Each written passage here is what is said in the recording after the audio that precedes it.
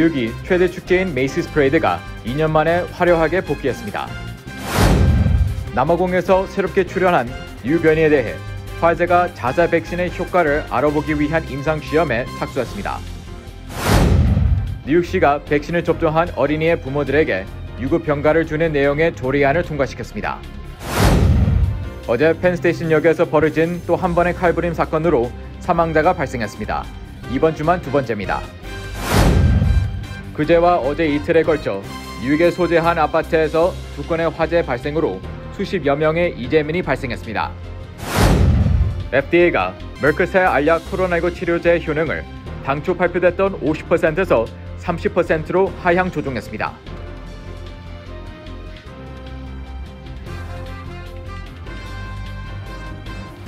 뉴 밀레니엄 뱅크에서 SBA loan big 프로모션을 실시합니다.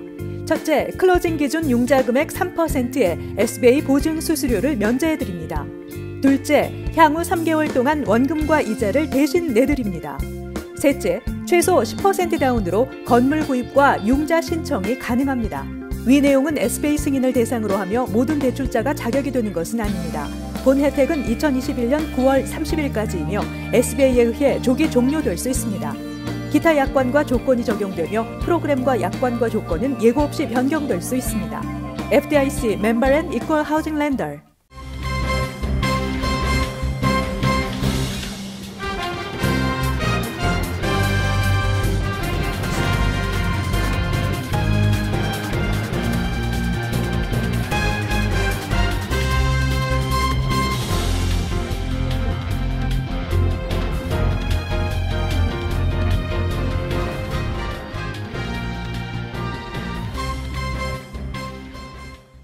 여러분 안녕하십니까? KBTV 뉴스9 이창원입니다. 팬데믹 기간 무관중으로 진행됐던 메이시스의 추수 감사절 퍼레이드가 화려하게 복귀했습니다.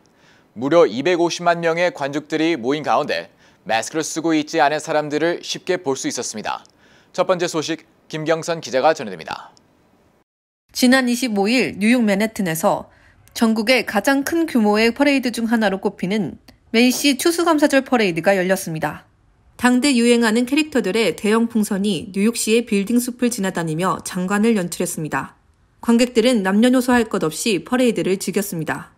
The weather is amazing, the energy is wonderful, the parade's just so exciting. Santa all the way. Santa. CNN 등에 따르면 퍼레이드에는 6,500명의 인원이 동원되었으며 4km의 거리를 행진했습니다. 관객은 250만 명으로 집계되며 성황리에 퍼레이드를 마쳤습니다. 작년 추수감사절에는 코로나19 확산 방지를 위해 텅 빈 거리에서 소규모로 진행되었는데 올해는 팬데믹 발발 전과 비슷한 규모로 진행된 것입니다. 이에 각종 언론들은 코로나19 이전 모습을 찾았다고 평가했으며 조 바이든 대통령은 미국이 돌아왔다고 언급하며 기쁨을 표하기도 했습니다. 하지만 일각에서는 우려의 목소리도 나오고 있습니다. 현재 코로나19 확진자가 증가세에 들어선 가운데 빽빽하게 모인 250만 명의 관중들 중 다수가 마스크를 끼지 않은 것입니다.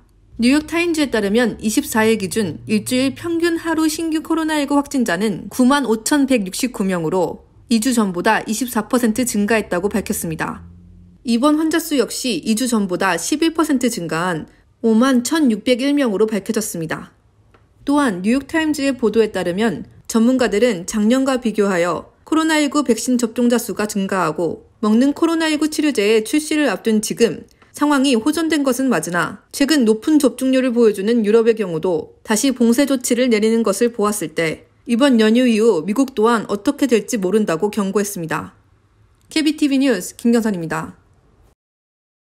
남아프리카 공화국에서 새로운 변이가 등장하면서 전 세계가 바짝 긴장하고 있습니다.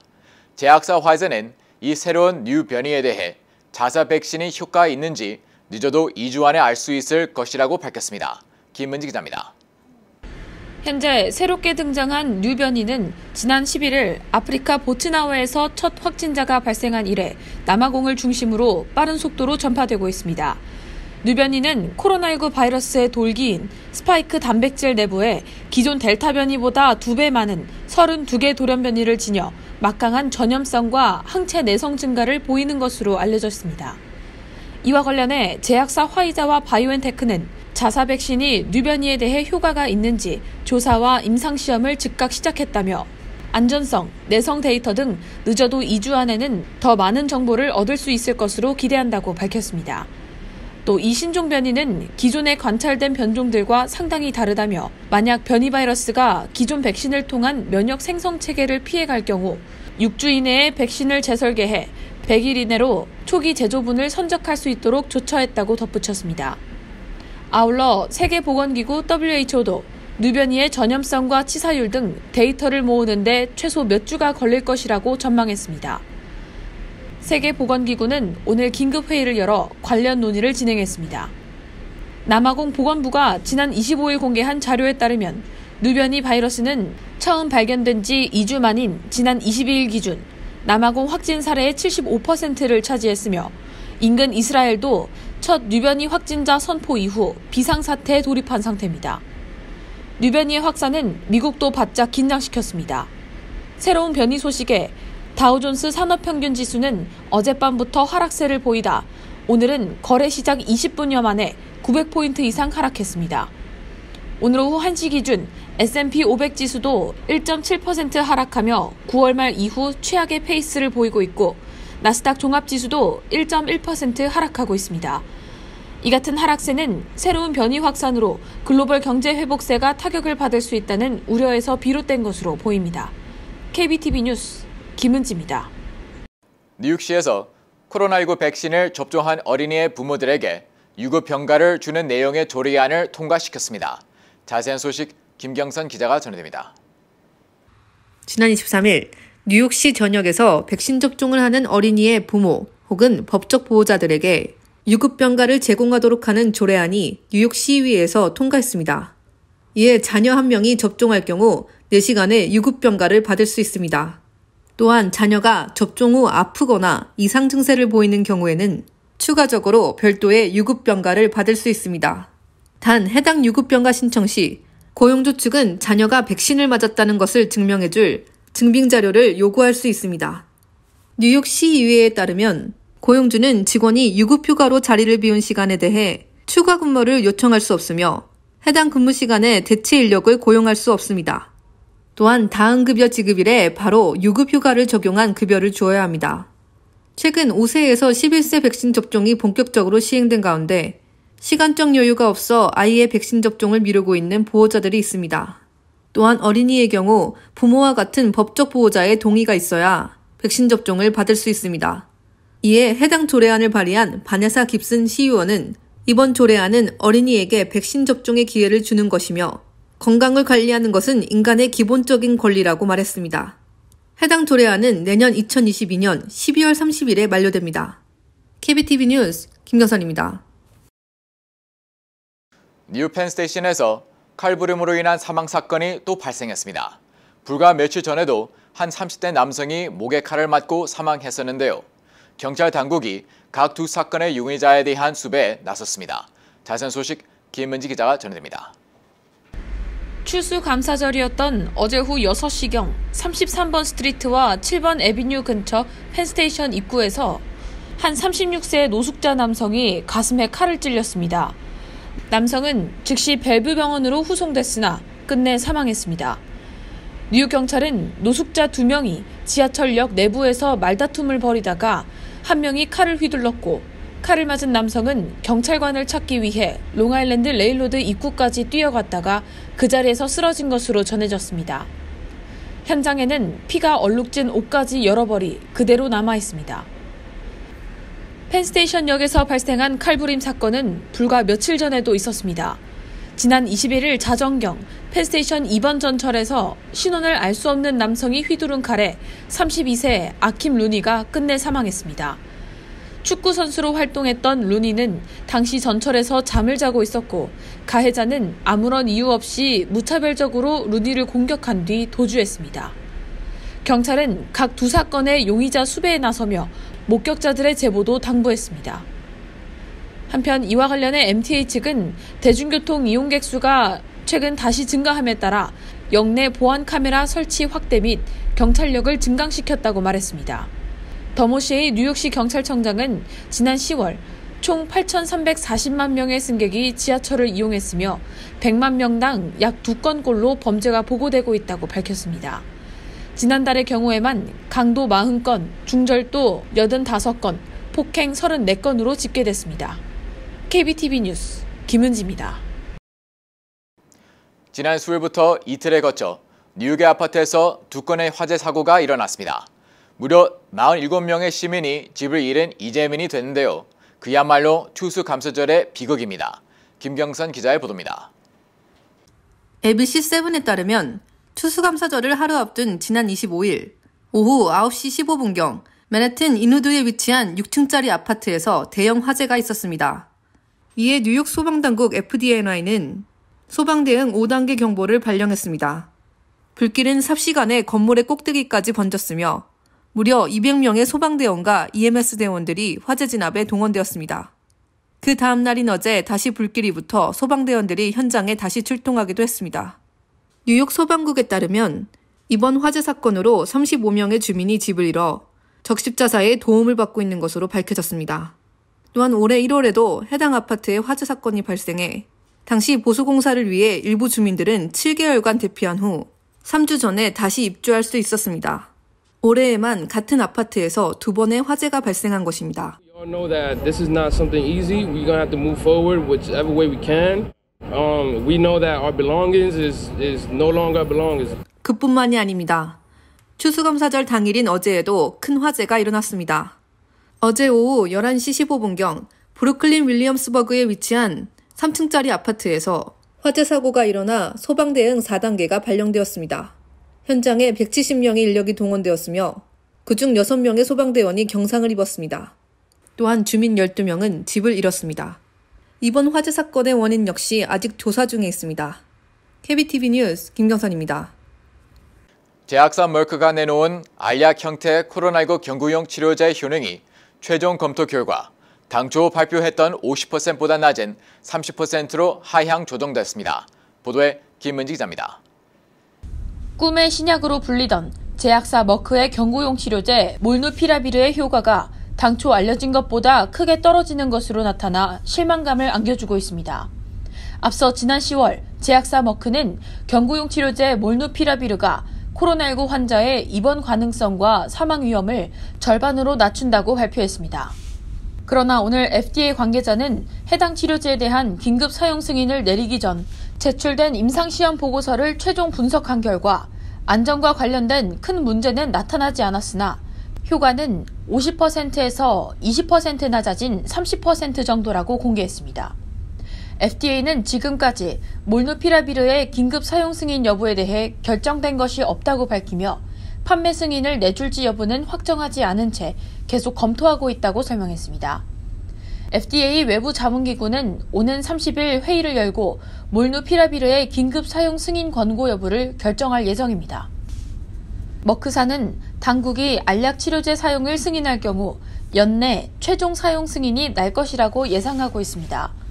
다만 18세 미만 청소년에 대해서는 사용하지 않도록 하자는데 보건당국과 머크 측이 동의한 상태입니다. 머크는 미 정부와 310만 회분을 22억 달러에 제공키로 합의했으며 올해 말까지 1000만 회분의 치료제를 생산하고 내년에는 최소 2배 이상을 생산할 계획을 갖고 있습니다.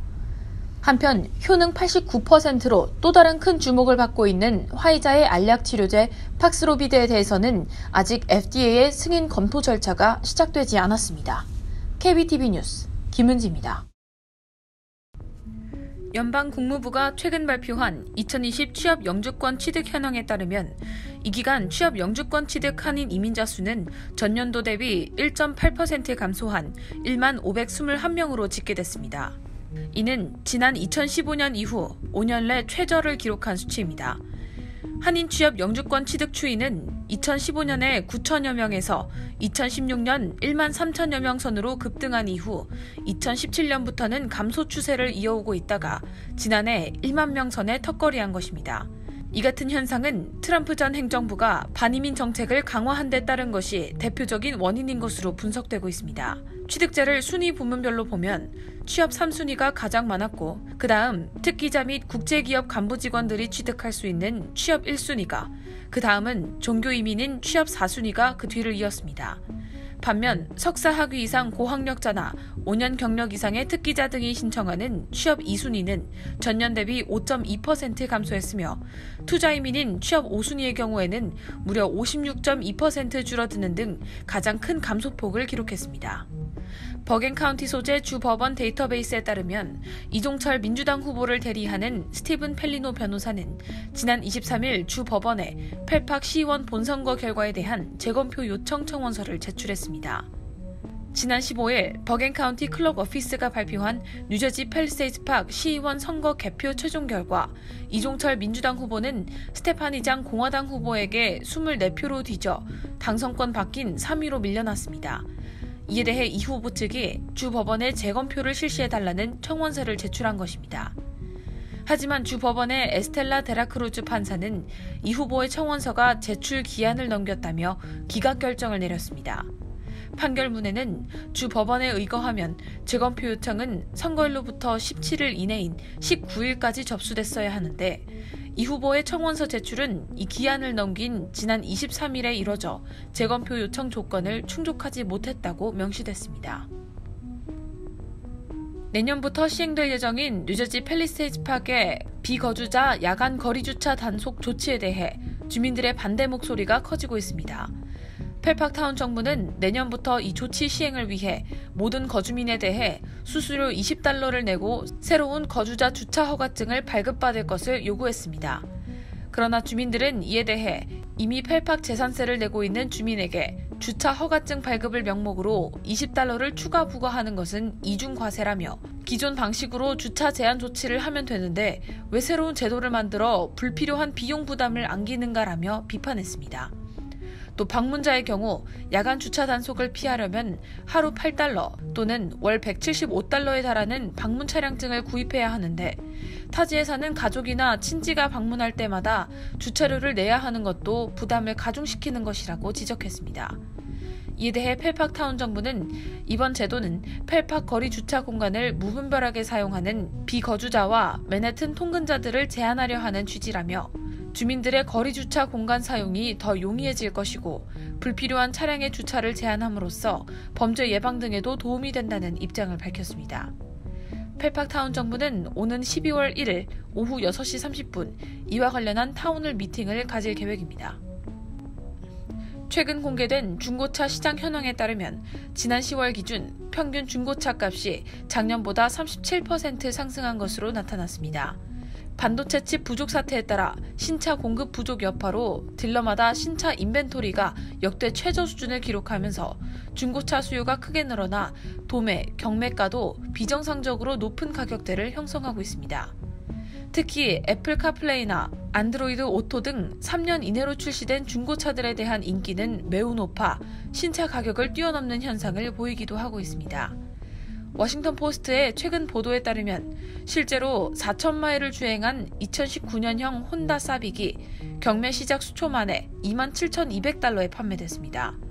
신차 가격이 2만 1000달러대임을 고려하면 2년 된 중고차 도매값이 새 차보다 29.5%나 더 비싼 것입니다.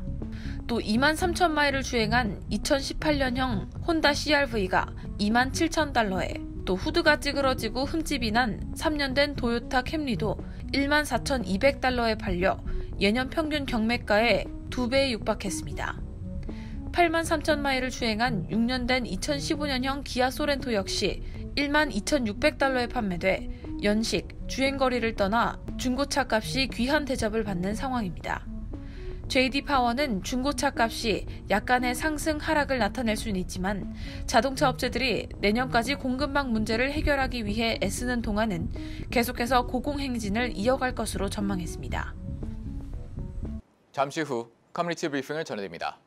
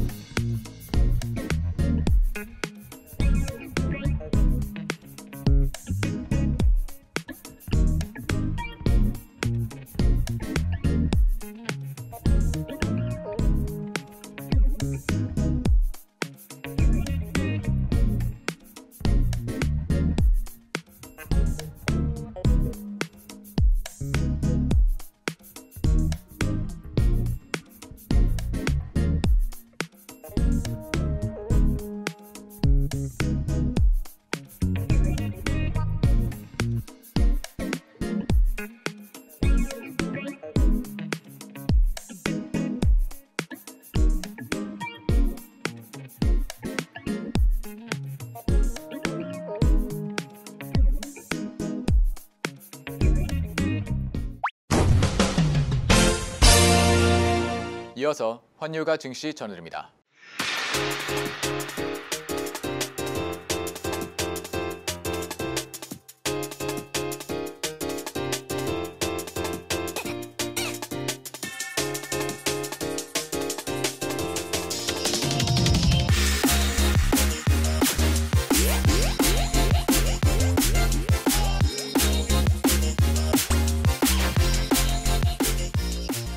잠시 후 뉴욕과 뉴저지 날씨 전해드립니다.